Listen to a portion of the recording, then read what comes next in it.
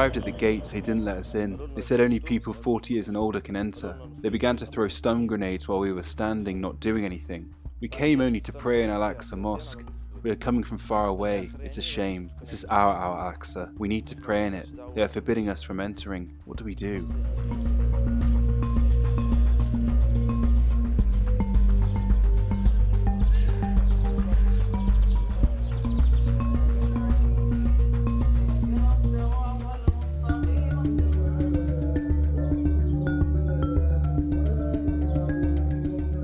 Think what we see today is a very serious provocation, and it will de- definitely lead to an escalation. And maybe this is exactly what this Israeli government wants.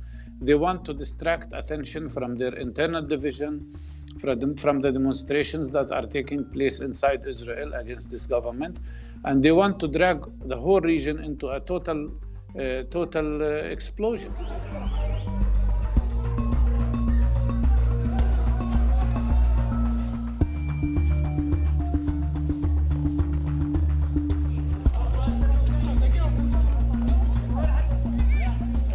The Israeli police is partially blaming, quote, increasing incitement on social media networks by terrorist organizations. But we have to remember that the Palestinians, their lives continue to deteriorate under the more than 50 year Israeli occupation. This year is on track to be another violent one in the occupied West Bank. 93 people have been killed so far this year, and there is a government in power now. It's the most far right government in place, and human rights groups are saying that this is a government that is pursuing policies targeting Palestinians, restricting their rights.